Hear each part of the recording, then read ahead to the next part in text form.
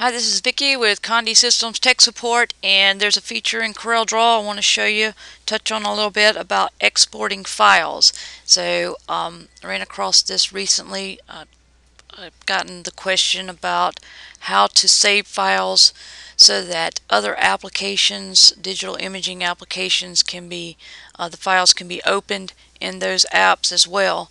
And so Corel has a great feature and um, it's a multitask application where you can save files as different formats uh, based on uh, the type file that the receiver uh, needs it in. So for instance, if it be a JPEG or a PDF or a particular application they're trying to open it in, um, I want you to know where to go and or how to save that file for, for that particular client uh, are receiving files. For instance, if someone's emailing you a file, you can tell people they can go in their Corel and just export it for a Photoshop document.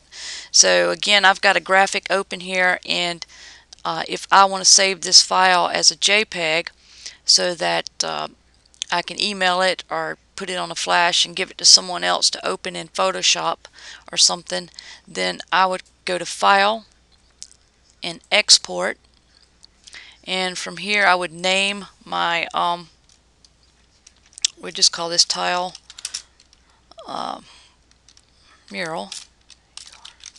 And um, if I want to save it say for instance as an Adobe Illustrator uh, file I can do that here. And if I want to save it as a JPEG I can do it here as well. Or you know I have several options here so I want you to know that's what this export feature is for so that you can save files for the uh, purposes of opening up in other applications and so utilizing them with uh, any other digital imaging software. So uh, I'm going to just click on something here say Adobe Illustrator and save to my desktop. And now I have a file that I can um, give to someone who is using it in Adobe Illustrator or for opening it myself in Adobe Illustrator. If I had a Mac or PC or the person that you were sending this file to was using a Mac, you could uh, choose Mac here and then click OK. And so that's um, what I wanted to show you the export feature in CorelDRAW. You should have that feature with all CorelDRAW versions.